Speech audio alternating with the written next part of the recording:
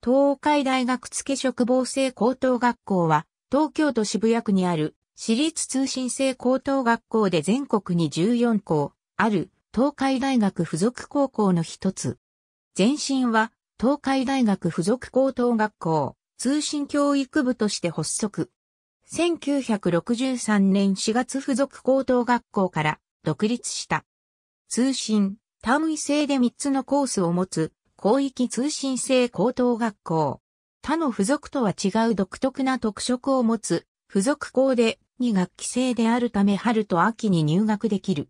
近くに法人本部があり、代々木校舎でも授業を行っている。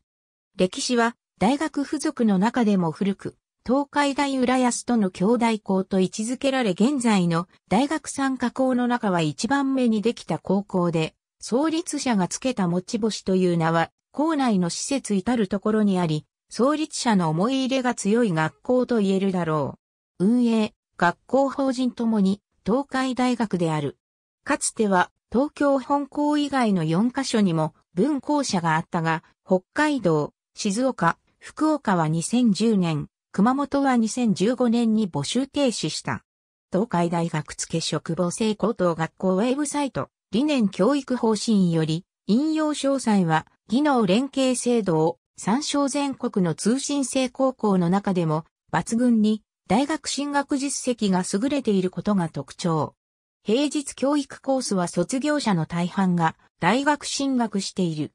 通信制ではあるが、他の付属と同じ条件で、東海大学への付属推薦入試が受けられ、毎年100人以上の生徒が、東海大学、東海大学短期大学部などに内部進学している。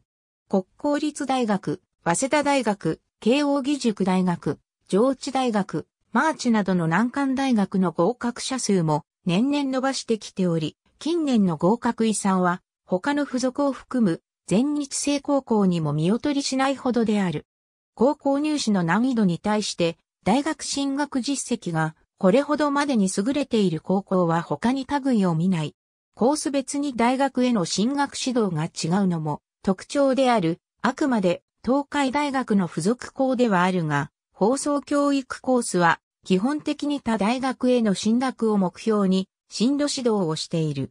平日教育コースは基本的に東海大学へ進学することを目的に進路指導をしており、東海大学への進学割合は平日、教育コースの生徒がほとんどを占めているが、最近では単位制の特徴を活かし、文系、理系を問わず、他大学への進学者数も増えてきている。男性、編集女性、編集平日教育コースは東京校だけである。ありがとうございます。